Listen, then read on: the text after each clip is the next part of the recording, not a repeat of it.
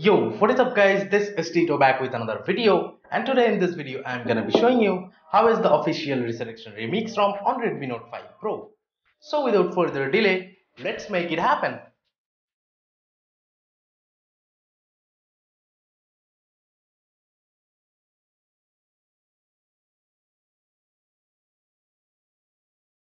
First, let me show you the fingerprint scanner speed. As you can see, the fingerprint scanner is working fine and unlocks the phone pretty much immediately. The whole user interface of this ROM feels water fluid and every animation look flawless. As you can see, there are barely any frame drops so the stock Androidish UI looks awesome to me at least. So if you are a stock Android fan, you will love it too. I am using a modded pixel launcher over here and let me be a little more aggressive over here and as you can see again the UI is buttery smooth and there are no mentionable lags or frame drops that I faced. And here is the quick settings panel and yeah it does show the Bluetooth device's battery and stuff. I was just listening to some music with the Bluetooth headphones that I have and it works fine. But I have to say the sound output via the headphone jack, the loudspeaker and the earpiece as well is a little bit on the lower side if you compare it to MIUI. But don't get me wrong, the sound quality is super fine over here. And if you go to the display settings and if you scroll down, you will see there is a new feature just been added which is the full screen aspect ratio feature for every app which is working fine so that more apps which are not yet optimized for 18:9 displays can be viewed or used with the 18:9 full display without any black borders. So it's awesome that developers are working on Resurrection Remix pretty hard officially and I gotta appreciate the hard work of the official developers. So now let me talk about the camera. Well here we have which you may call the Snapdragon camera app as default camera. Well, in my frank opinion, it is just to get the job done. But the pictures over here are not anywhere close to stock MIUI camera app, so you have to keep that in mind. And if you are expecting portrait mode, well, back off. It doesn't work over here unless you root it and you enable Camera2 API. But we do have 4K video recording support over here and image stabilization is working fine here too. So yeah, I have to say, if you're into shooting videos, you might give this one a try. And the image stabilization works for both front and rear cameras, but note that it doesn't work for 4K videos.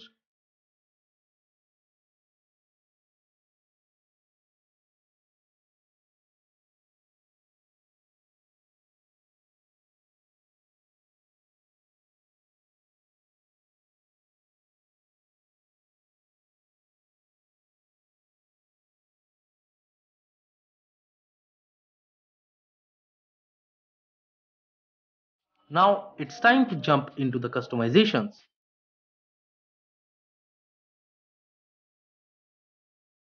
If you're liking these animations, well it's a feature too. I'll show you later on. So first we have clock and date customizations. Next we have network traffic. After that we have notification ticker. Then we have battery. I did set it to big dotted circle and you have lot of other options. And yeah, Battery bar is also present here. Next, in system icons, you can enable VoLTE and 4G logo like I did. And yeah, VoLTE voice calls are working fine here. And sliding a finger on the status bar to adjust brightness works super fine here. In System UI Tuner, you can enable icons like headset and stuff. From panels, you can set custom header image if you want to. And we have some other opacity controls for some pop-ups like in the power menu and stuff. Next we have quick pull down, yeah it does work but I left it disabled because I love it on the stock side. And you can adjust quick settings panel, column and row numbers like this. And we do have option to scroll small quick toggles. And we do have option to show or hide quick toggle titles and the auto brightness icon is present here and in advanced we have the easy tile adding option and some more stuff but these animations like the flip and rotate quick toggles simply does not work over here for me on the latest build. So consider it as a very small little bug. As you can see it does not work. As you can see it only does the normal stock android animation. It simply does not work with those flip and rotate animations you can set the transparency of quick setting panel from here in recents we have the clear all button which you can customize like you can even change this icon over here and we have free RAM status on the top of the recent apps panel Next, we have some fingerprint options. After that, we have the UI blur options. I have set the display size to small. It takes a couple of seconds to open the display size, no idea why. You can change DPI if you want to. Disable heads up and from sound settings you can disable screenshot sounds and screen on notification sound and some other sound stuff if you feel those are annoying. Next up we have theming. From here, you can change the whole UI color to light or dark and even can adjust the accent colors. So yeah.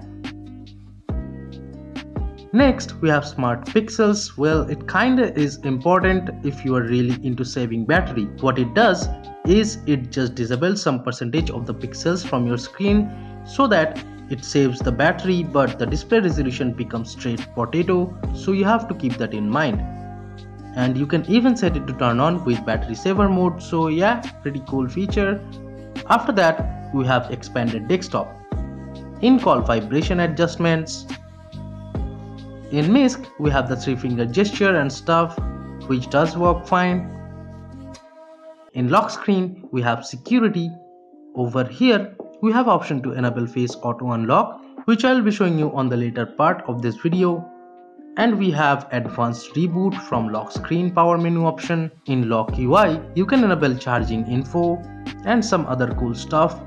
Have a close look if you need to. In buttons, we have normal advanced reboot enabler for power menu again. And yeah, it does work. As you can see, we have advanced option and you can just go directly to fast boot or recovery and stuff and we have press and hold the power button to toggle torch and that too works super fine here. In navigation, you can customize the smart bar. Well, why smart bar? Let me show you. I did change the back and recent button position like this and Google Pixel like home button animations and heck you can set it to each button and you can even set the colors for each dots and you can set custom actions like I did with the recents button. I set the long press action to screenshot for the recents button and as you can see it works. And you can customize the navigation button height if you want to like this. And we have the pulse option so if you play some music anywhere on the phone it shows you the visualizations on the navigation bar like this and you can even further customize the colors and all. Next we have animations and here are a ton of them so you can pretty much customize the whole UI animations from here. And I set the screen of animation to CRT and it works fine. As you can see, double tapping on the status bar locks the screen and double tapping on the navigation bar locks the screen too. It's a smart bar feature, pretty cool. Now let me show you the edge gestures. Well, why I am not already using it? Because I feel that it doesn't work as it should. But it used to on the unofficial builds, I don't know why it's not working as it should right now. Well, let me show you why I am saying this. If you swipe up from the bottom, yes it gets you to the home screen. And if you just do it again and hold it, it simply does not open the recent apps panel, which is annoying. So it's definitely a bug and the developers may fix it in the future but not working for me as of now. But if you open an app and swipe from the sides, yes it goes back with either sides. So that's that, but the recent apps panel simply does not appear. So to me at least, gestures are not as much usable as it used to be. Next we have gestures anywhere feature and app circle bar and pie control.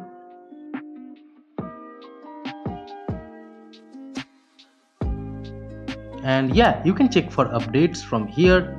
And almost forgot to mention guys that yes notification led and all stuff like that is working super fine here in this rom. So let me just show you the about section. This is the 17th may 2018 build and of course running on android 8.1 here is the stock kernel of official resurrection remix for redmi note 5 pro. And security patch over here is of latest may 5th 2018 and if i talk about the battery life as you can see, I have 35% juice left right now and I got around 6.5 hours of screen on time. And as you can see, the overnight battery drain is not that much, but it started draining the battery pretty fast after 50% when compared to the time when it was above 50 and here are my app usage so yeah it can definitely last you a full working day with around 7.5 or more screen on time and I think that's enough Note that no double tap to wake feature present here.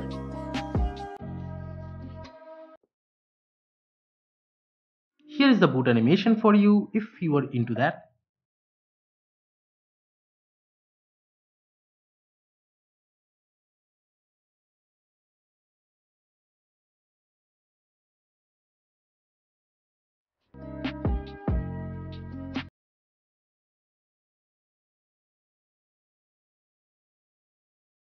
And native video calling simply does not work in this ROM at least as of now. You need to keep that in mind.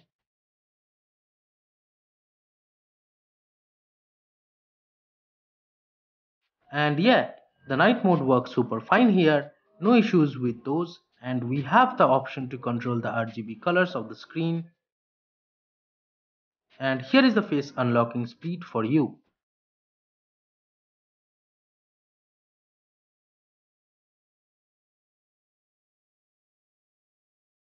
So, in my frank opinion, if you want a super stock Androidish and super customizable ROM, like it's overstock Android, you can definitely try this ROM on your Redmi Note 5 Pro and it's pretty cool, I have to say.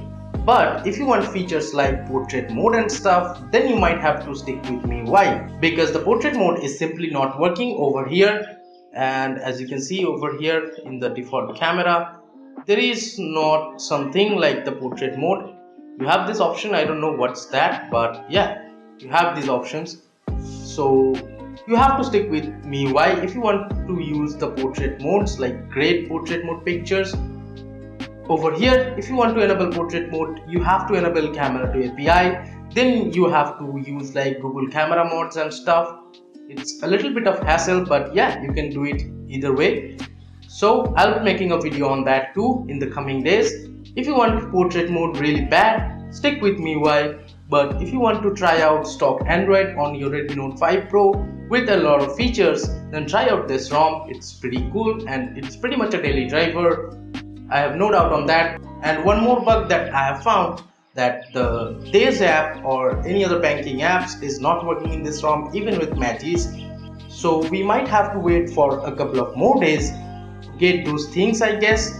Maybe in the future with software updates they might fix it. But even with Magisk, this app or any other banking app simply doesn't work over here. To be honest, this ROM is pretty much a daily driver for me, so it gets a thumbs up from me. So I can give it a solid 8 out of 10 at least right now because VoLTE video calls doesn't work over here, banking apps doesn't work, portrait mode doesn't work. So all other things like the performance and stuff is super fluid. The gaming performance is really good. I have played pubg and that went pretty fine. No lags no frame drops or something like that. So there you have it. That wraps up this video guys. Thank you so much for watching. Hit the big thumbs up button if you like this video and subscribe to the channel right here if you love my work. And we are really really close to 4000 subscribers. So if you haven't yet just do it this is Tito from KTN Tech signing off and I'll see you in the next one Bye bye now.